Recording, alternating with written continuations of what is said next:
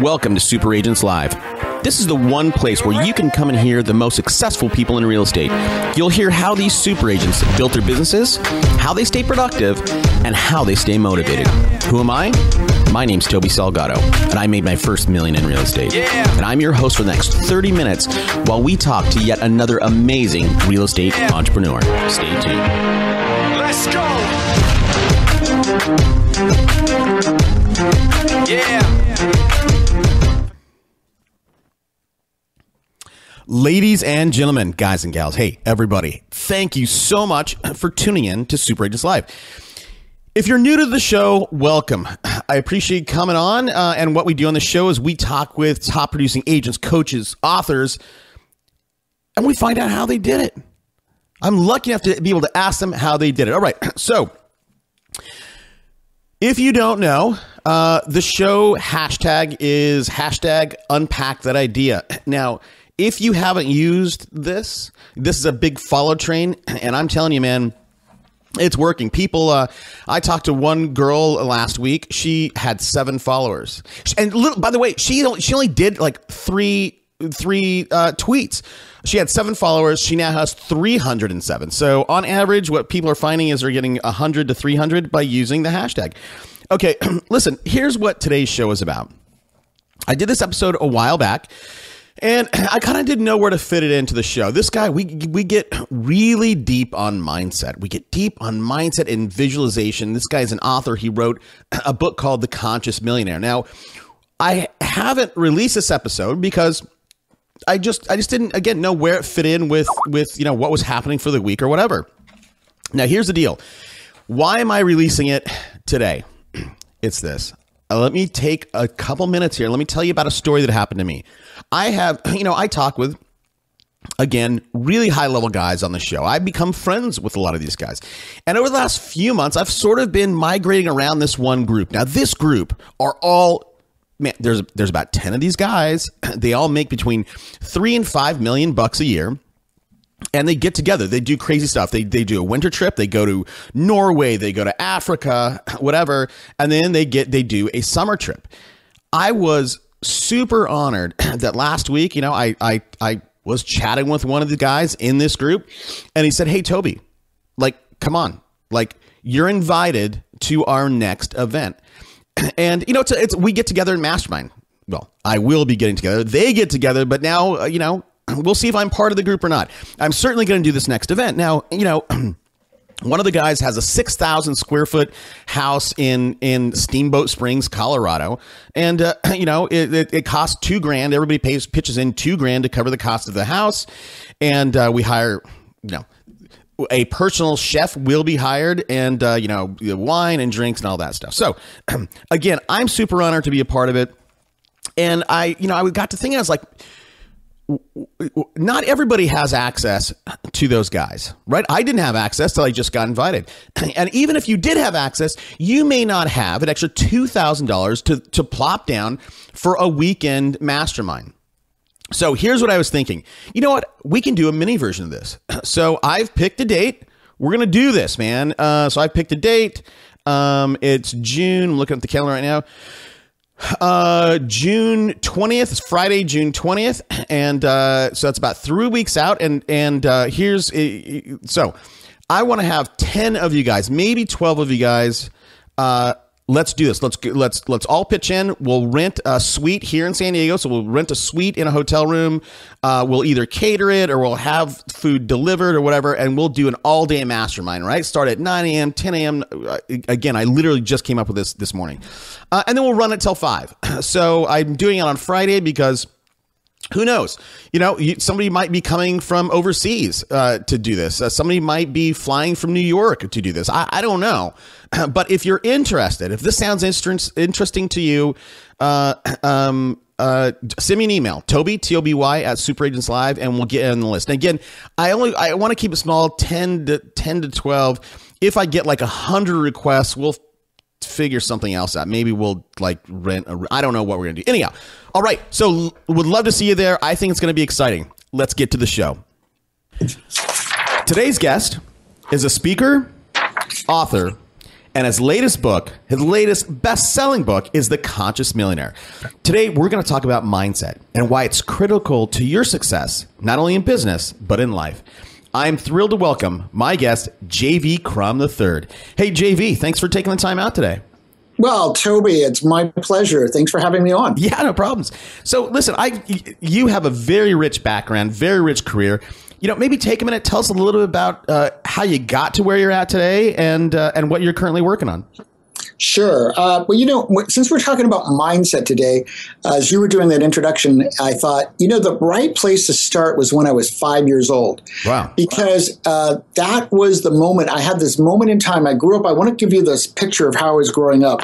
It was this little country town, like three or 400 people in the middle of Florida. We're on this big lake and nobody had any money. Everybody was like, my dad was in agriculture, my mom was a school teacher. Uh, everybody just kind of got by. And there was um, there were a lot of times like we weren't exactly sure where the money was coming from just to have food.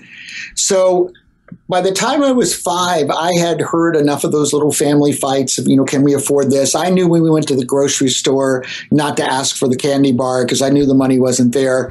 And there was this one day that I'm sitting there, you know, little kids are just filled with wonder and uh, a lot of times, in fact, people go, well, how is it that you create the visualization, that you create the ability to believe in something that's so different than what you have right now? And for real estate agents, that's important every day because because of all the no's they get, because of all the turndowns, because of all the open houses that people come and they kick the tires and really it was a waste of time a lot of times and and uh, and it's definitely a game of numbers so uh, a lot of times being able to go back to where we were as little kids when we could believe in fantasies and and pretend worlds and we'd be kings and queens or superheroes. So one day i was sitting there as little boys would do little girls would do and saying well what's the answer to this problem that we never seem to have enough money? And then you know and that little boy wonder i said oh i've got the answer. When i grow up i'm going to be a millionaire so I run in the house, I tell it to my parents, and I recall my mother shaking her finger at me and saying, Don't tell anyone. Now, there's a lot of stories in that one little story because, first of all, I changed my mindset literally in a few moments. And my mindset never changed after that. I always believed I was supposed to be a millionaire and got to there when I was about 25 years old. And I had the house on the water, I had the Mercedes, you know, all the things that most people dream about, I had very early on.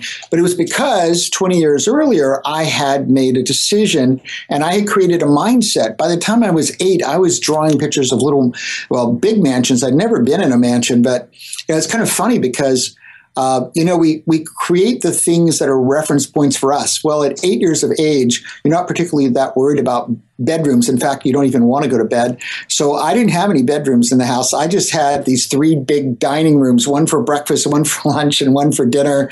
I had this huge room to have parties, and the whole back of the house was this outdoors with a big pool and cabanas. And, you know, all I was thinking about as eight is I just want to have a lot of parties and places to eat and have fun. So uh, that was my ideal mansion back then. But the thing was, when I sat down to write this book, and this is relating to mindset. I wondered, well, my mom had my best interest at heart. So why would she say to a little boy of five and shaking her fingers, why would she have told me, don't tell anybody? Well, by the way, of course, uh, you should know. I went around and for a year and a half, I told everybody in town, when I grow up, I'm going to be a millionaire. Of course. I don't think, yeah, of course, because little kids are going to do that, especially when their mom says, don't do it. Um, but I believed it. I don't know if anybody else did. Didn't matter to me. So, but the point was, I said, why would she have said that? And I thought about it, and it really goes to beliefs, which is at the core mindset. My parents were really good people. We went to church three times a week. We lived across the street from the church. And I realized what she wanted was she wanted to be sure her son grew up to be a good person. And in her mind, because there was a lot of scarcity mentality in my family, um, someone couldn't grow up and have that much money and be super successful financially without having done something wrong. Right. And she didn't want me to grow up to do something wrong. And I'm bringing this up at the start because everyone that I've worked with and I coach clients, there's usually a core belief about worthiness, about deserve. Uh, there'll be a piece sometimes about, you know, it's wrong, it's not good. There's an inner conflict that you can't live these values of honesty and integrity and make money, uh, which really brought me to creating conscious millionaire because I said, no, that's not true at all. It's not how I've made any of my money. I've always been honest. I've always had integrity. You know, it's always been about adding value to people's lives. But we're walking around with all these mixed up beliefs that come from so many different places in our life. A lot of time, like my mom, with good intention, she wanted the best for me, but in her mind, the best was that I couldn't grow up and have a lot of money because I had to have done something wrong. And I'm wondering uh, right now when people are listening to this, how many people identify that somewhere inside there's at least an inkling of a belief that they could uh, they can imagine is there uh, that's holding them back because they don't truly believe they can be a good person or they don't think that they're worthy or deserve to really have the financial success that they keep saying on a daily basis they want. Right.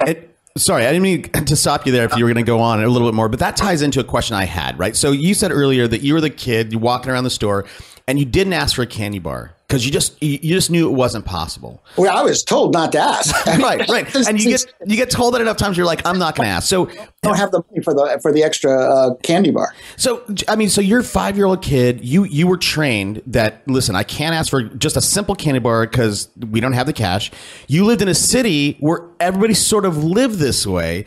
Right. What what is it about you, JV, that, that how come you didn't fall into that trap of just being a drone and just saying, well, it, look, I got to be a bad guy uh, uh, uh, or live poor, right? Like because equating negative Yeah. things with It's a, it's a it's a great question. I've been on so many interviews lately. That seems to be a favorite question. so Oh, I'm yeah, I've, I've had that question. I wish I And wouldn't have asked it then. I come on, I thought that was no, a no, no, unique question. I think it's a great question because it actually makes me me ponder every time. Well, how is it that my life turned out so differently when I don't think I'm that different from the average person?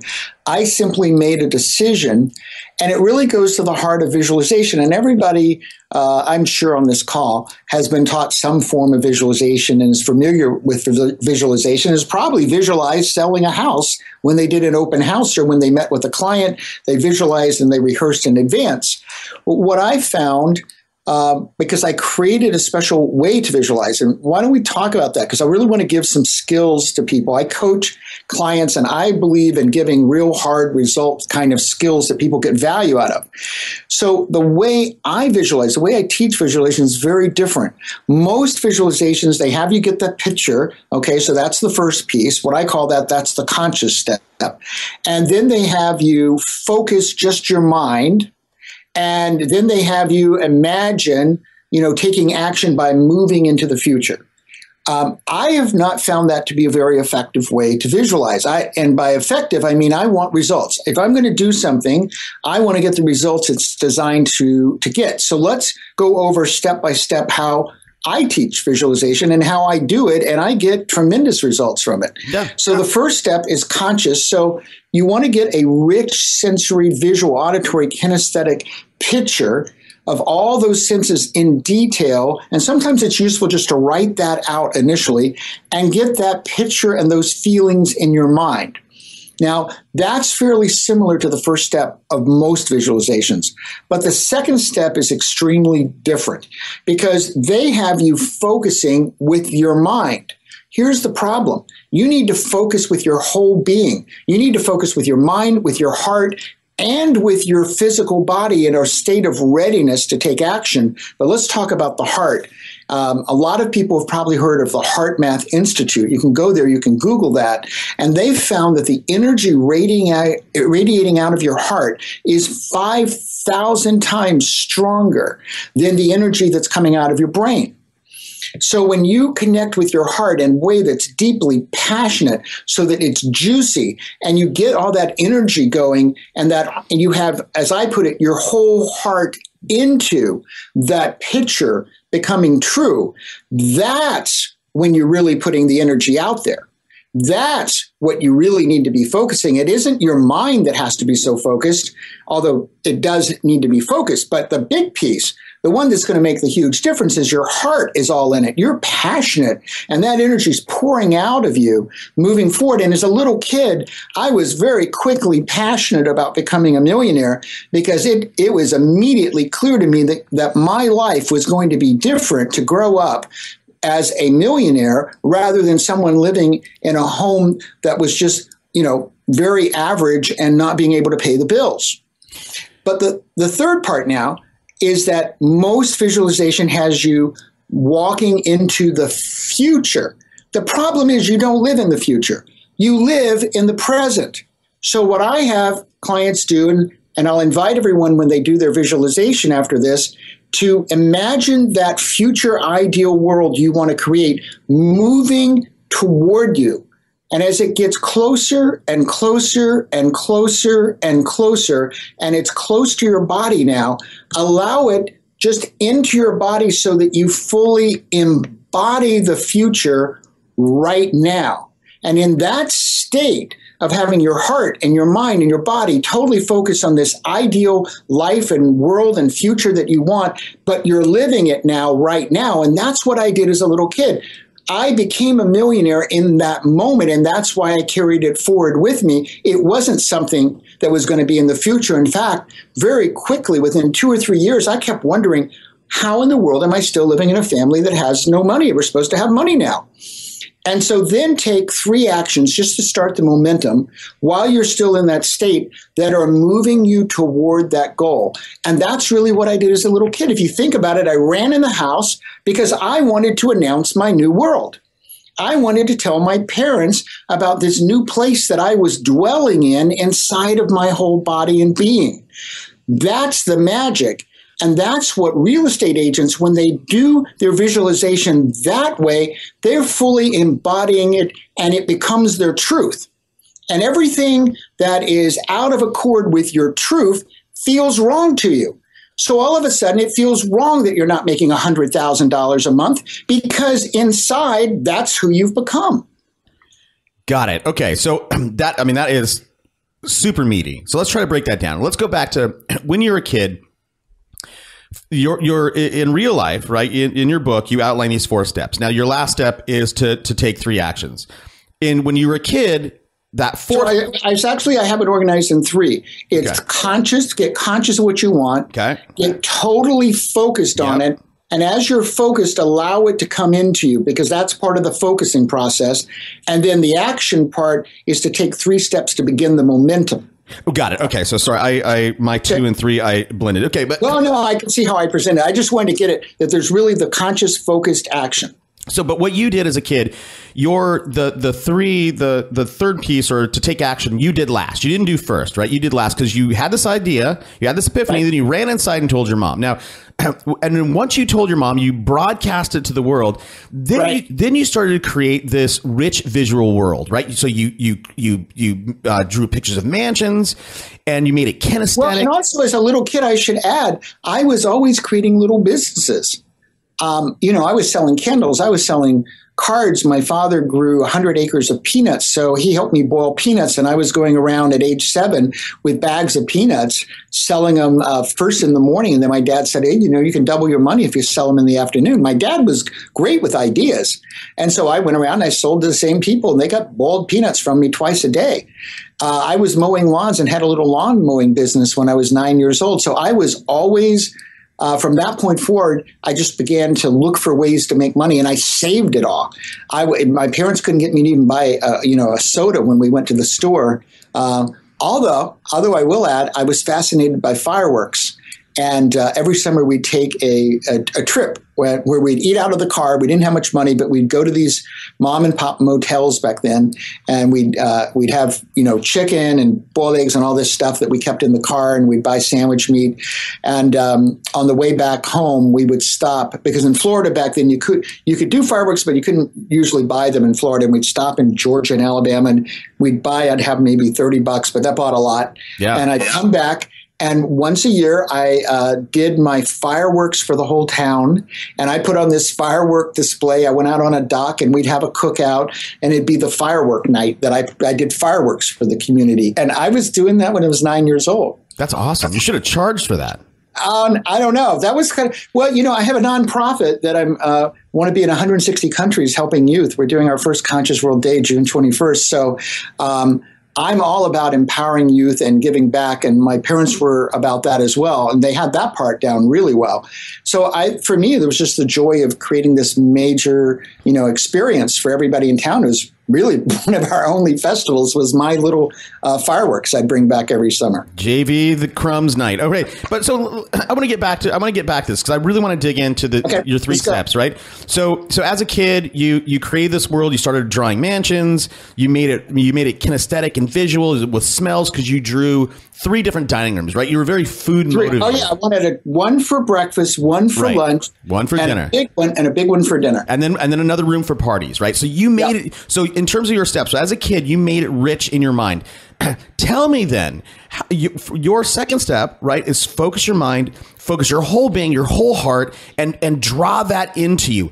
If if I'm, you know, for my audience out there, right, they know what they want to accomplish. They know they want to sell hundred houses this year, or they want to do thirty or fifty million dollars, or even just double their production. How do we do that? How do I do that, JV? Yeah, great. Let's start. Um, first, uh, whatever date you're listening to that, let's look at the end of 2014. I want you to immediately write down. Uh, if you're listening in the car, wait till you stop. But when you when you're at a place that you can sit down and do this, write down what your number is. What do you want to accomplish in sales, and what what portion of that do you want to be yours? Because I mean, there are all kinds of ways you could be splitting, and then create your visualization of what that's like in terms of your life and including making the sales so that it's rich and full of sensory, visual, auditory, kinesthetic, the smells, the the the taste, everything that's real for you. And then let yourself connect not just with your mind, but to your heart and the passion that you're going to feel for accomplishing that how exciting it's going to be for you, and allow yourself to just gently believe in that moment, in the feeling of that moment of it all being done, uh, and just move move into that feeling while seeing that picture out there, and then imagine it. And I always close my eyes. Imagine it floating toward you, and when it gets to you, and listen to my words very carefully. Invite that ideal future, that December 31st, uh, if, if, if this is 2014 when you're listening to it, 2014 or 2015, invite that into your being like you were inviting a friend into your house because you really want to have that kind of intimate relationship with the world that you want to create. And then as you embody that, notice how you begin to feel that this now is who you are. And we've all had moments like this where we imagined something that wasn't true in this moment. And all of a sudden, it was as if it were true. And that's what I'm talking about. Because now you're embodying it. And as a little kid, that's exactly what I did. And then I went around joyfully believing and re reigniting what we might call a state, reigniting that state over and over and over and over again. Now, there's a there's an aside here.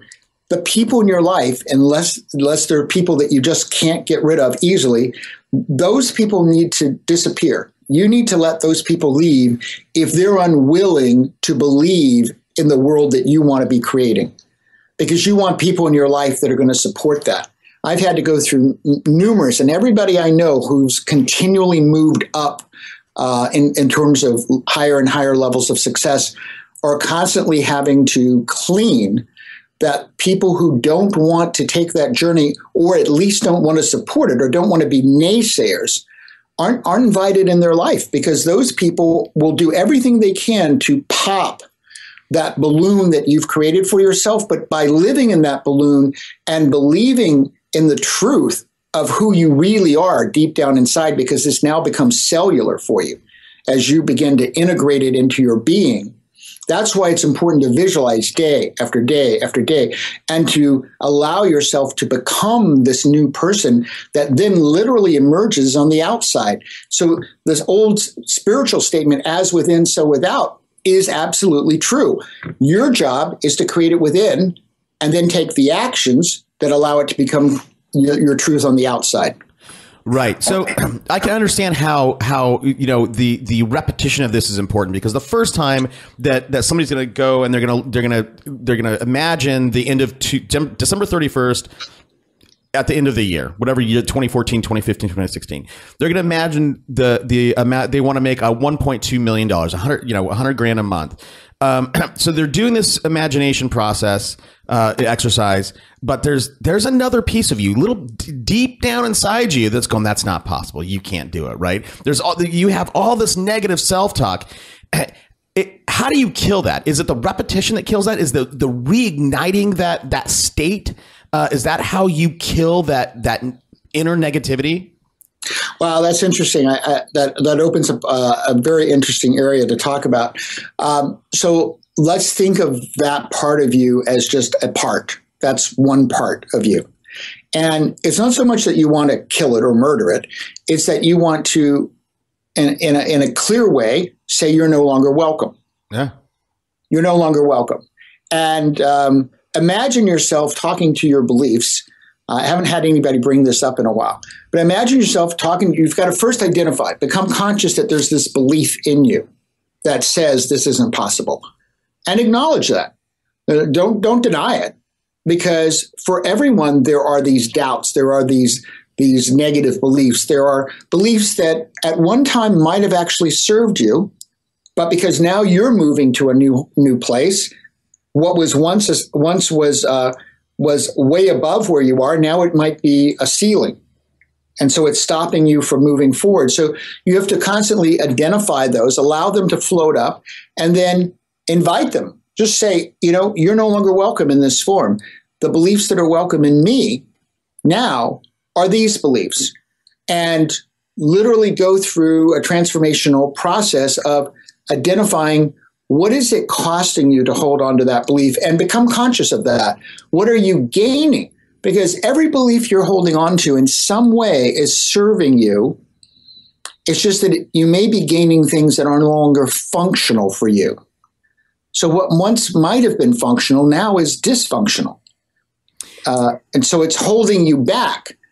And then once you identify that, create the opposite belief and look at what's it going to cost you. Uh, what's it going to cost you not to not to have that belief? But more importantly, what are you going to gain from that belief? And how is your future going to be different? And then begin to embody that belief and invite that belief into your visualization process so that you're integrating it on a daily basis, this new belief, but there's a part of you that's never going to believe that belief until you take action on it. You've got to go out and take action so that you've got reference points that say this belief is true. I can go and meet someone new and invite them to look at homes, and they will. Or I can show three homes and I can can ask someone which home they want to purchase and get them in a state of imagining owning that home and find out which home would be in their best interest and move the deal forward.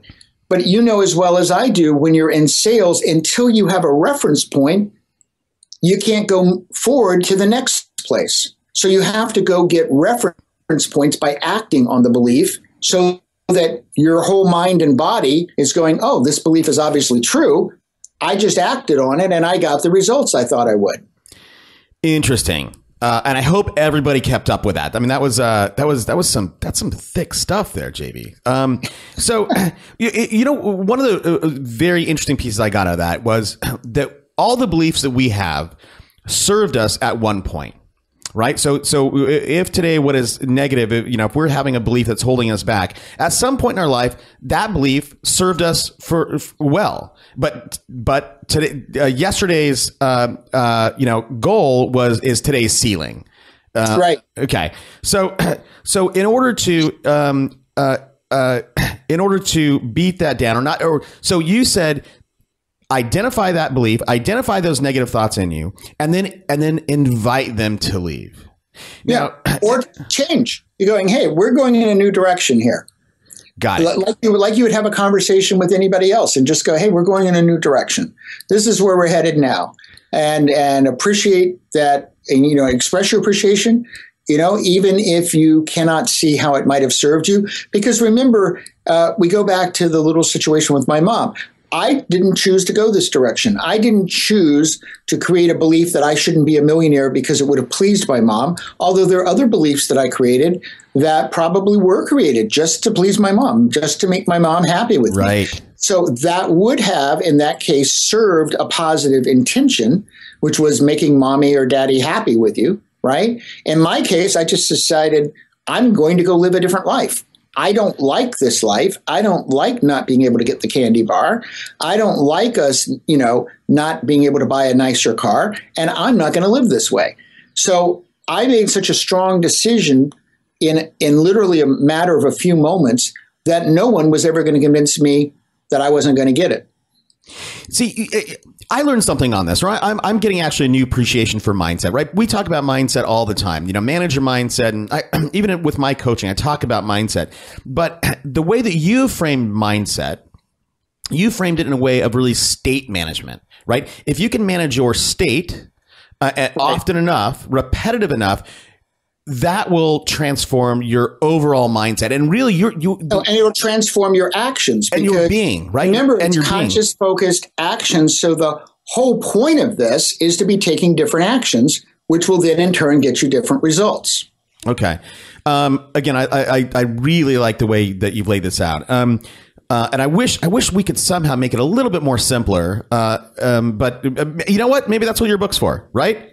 Well, so, let's make it, let's make it simple with the conscious focused action. Okay. Uh, in fact, I call that the formula for creating wealth. It's all the way through my book. Is that there are only three steps to creating the results you want. The first one, in simple terms, is to get conscious of what you want. Uh, think of who might be able to help you achieve it, and what are the different options for getting there. So that's the conscious step. Then the focus step is to get your mind, your heart, and your body in a state of readiness so they're all focused on moving forward towards that result you have now identified. And then the third step is just to take action. And let me make that simple. You ask yourself which actions do you want to take? What action, what order should they be in? And when should you start? That's how simple it is. Conscious, focused action. And when you do that over and over again, and you notice the results you're getting, so then you might fine tune some of the actions, or you might say, hey, I need to get Joe along with Sally. I need a couple of people to help me. So you're constantly iterating that. You will get to the results that you want. It's that simple. Got it. No, okay, yeah, that's a simple piece of it. Okay, so what about what about you know as we go along, we have these big goals for for the end of the year, December thirty first. Um, you know, h- how is celebrating the little wins, right? Getting those refer- reference points, as you as you mentioned earlier.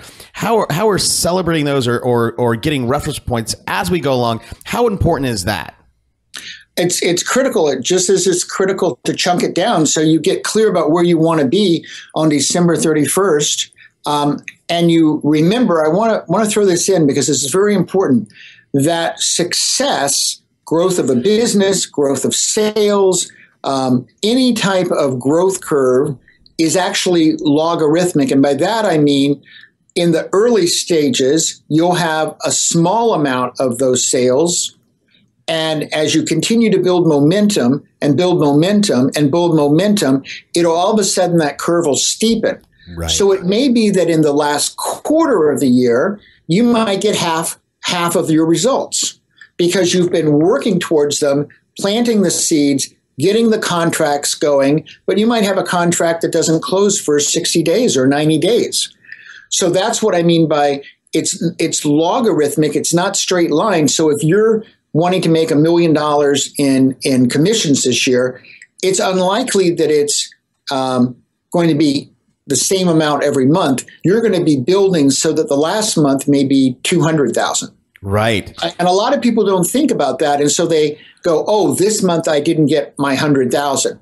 Well, yes, but you were planting seeds. You were going out there and doing the right things. You were learning what was working. You were getting clients. You were getting referrals. And all of those things, if you continue to do them day after day after day, become like this. It's like social media is. If you add five people every day, imagine where you'd be at the end of the year. Last year in January on my LinkedIn, for example, I had 750 connections. um, which a lot of people was think was good. But I decided I really wanted to expand that. And uh, in January, I was at New Media Expo where we met. So it was the first week of January. I went to a class on LinkedIn for an hour, got some basic ideas of what I wasn't doing. And then I played with those and iterated. In 14 months, I've gone from 750 to over 4,800 relevant connections and put myself in the top 1% of LinkedIn worldwide in terms of page views and number of connections simply because day after day after day I did the same thing and then I would improve it the next day and I go, ah, I noticed this distinction that worked. And and therefore I'll do this.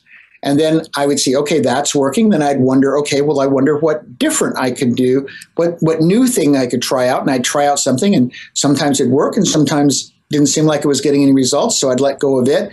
But every day I worked on my LinkedIn.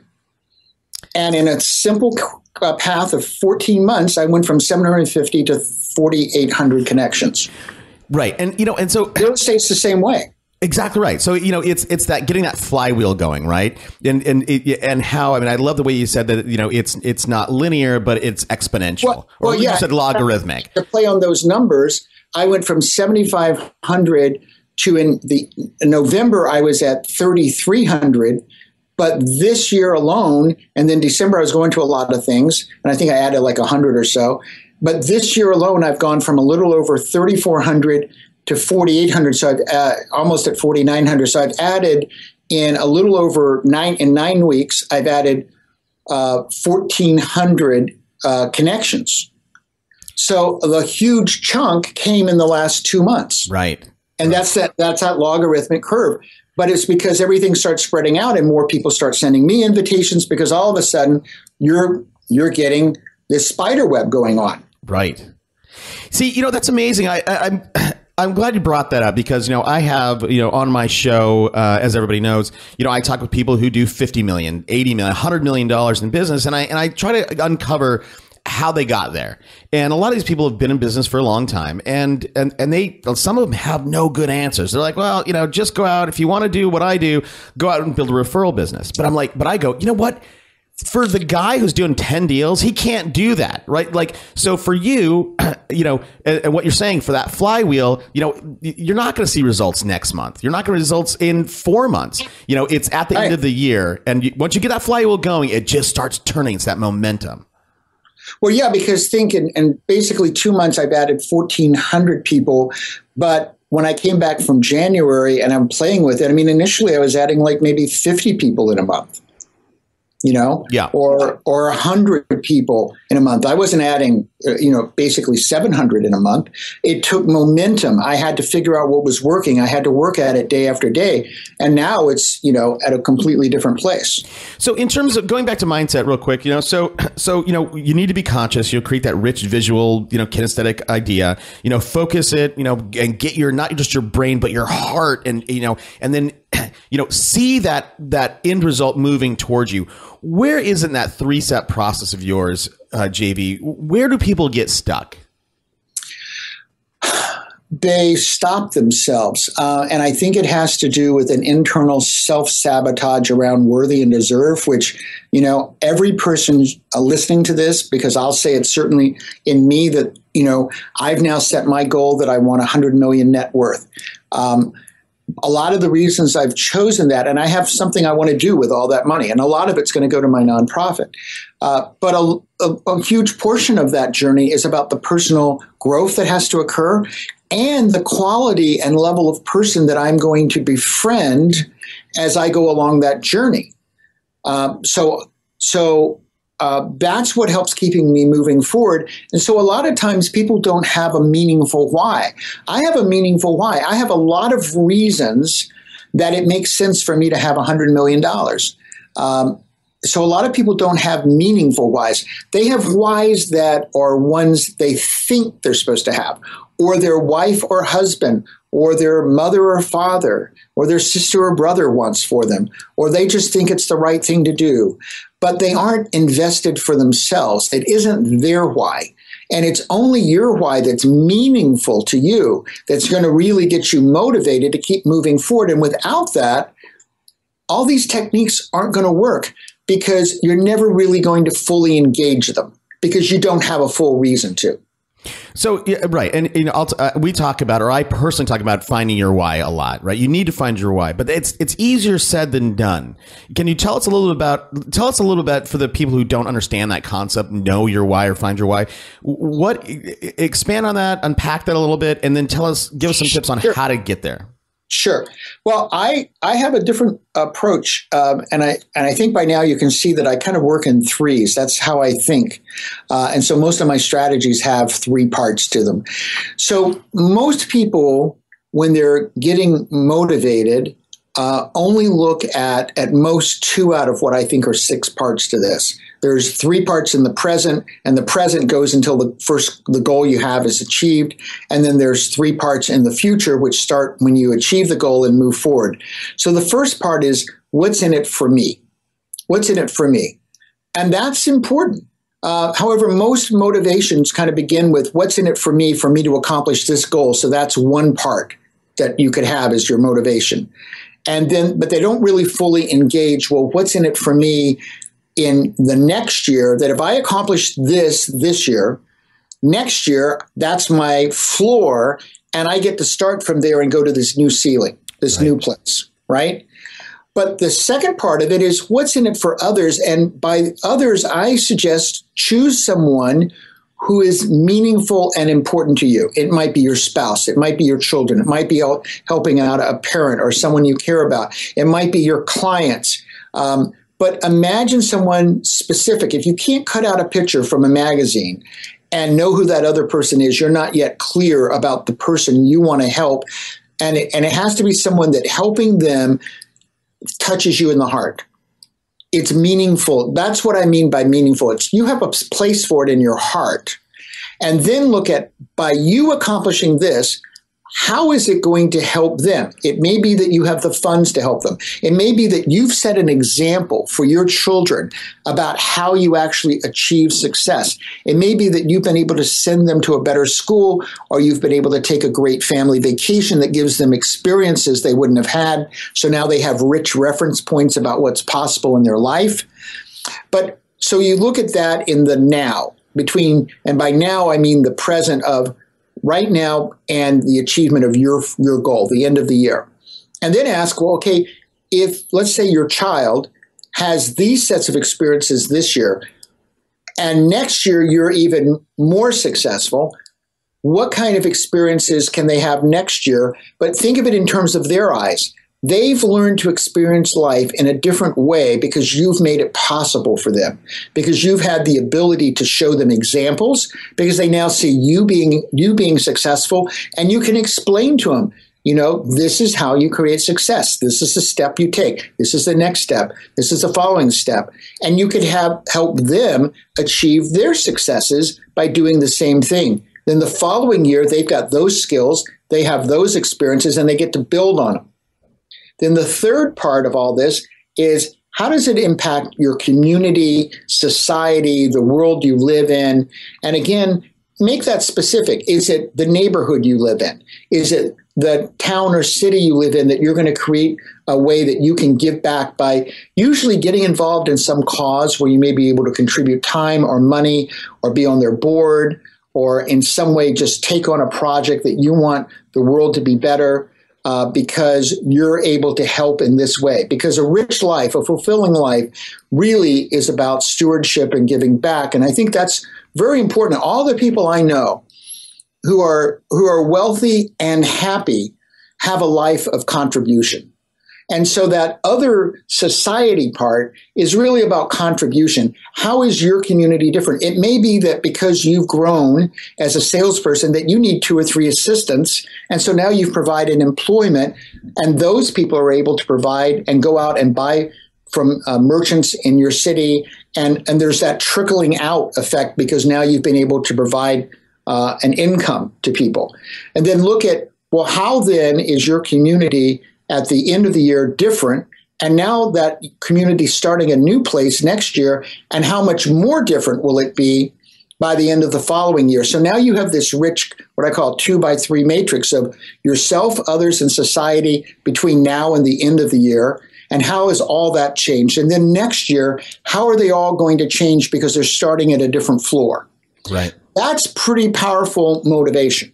That is awesome, man. I, I, I, you know, look, all your stuff, JV, is it, you know, I love because it's, you know, you have a way of chunking everything down and visualizing each piece, and then, and then again, you, you, you, you did a really good job talking about how, you know, the spidering effect of everything, social media, your, your vision, your why. So, Hey, JV, thanks so much for coming on the show. It's been fantastic. I mean, you have really dropped the goods here. I'm sure everybody is, this is going to be one of those ones where everybody has to listen to two or three times uh, and then maybe go back to it next month to, uh, it's, to, to get it all. There's really a lot of stuff. So, JV, uh, tell everybody where they can find you. And I, I think you said you had some, uh, something you wanted to give the audience. Yep, I have a couple of gifts for everyone. So my my book's come out. It's a bestseller. I'm incredibly delighted and feel blessed. What I'd like to do is give you a small version. Take a couple of chapters. I put together a mini version of the book. I want to give that to you. We have a, a membership site. I want to give you 30 days in that. We have 17 videos based on the book that give you uh, videos of examples of how to take the material and actually put it into action and get results. You know, starting right now today because as as you can hear, I'm all about the results. I want you to all be millionaires. I believe you can be. Um, more importantly, I'd like for you to be conscious millionaires. And by that, people who are building their wealth in a way that makes the world better, makes their clients better off, and it's done with honesty and integrity. I want you to know you never have to value, you never have to violate any of your, your core values, uh, that you can be a good human being. That was one of the things that my mom didn't know, and that contributed to a lot of the scarcity because we, I had had very intelligent parents. In fact, I used to sit around wondering how are my parents so successful and they don't have money? Well, it was this, it was the belief system was not supporting them being okay with being wealthy. And so the final message I want for everyone is that it, I want you to know it's absolutely not only okay, but it's only by creating a life that is rich and abundant and filled with the money that you want that you're able to make the contribution in the world, that you're able to help people buy the homes that they really enjoy, and you're able to then go out and create a great example for your children, help your parents, uh, give to causes that you believe in. And all of that comes from being financially successful. Being financially successful is good. It's not bad. And I think it's right for everyone.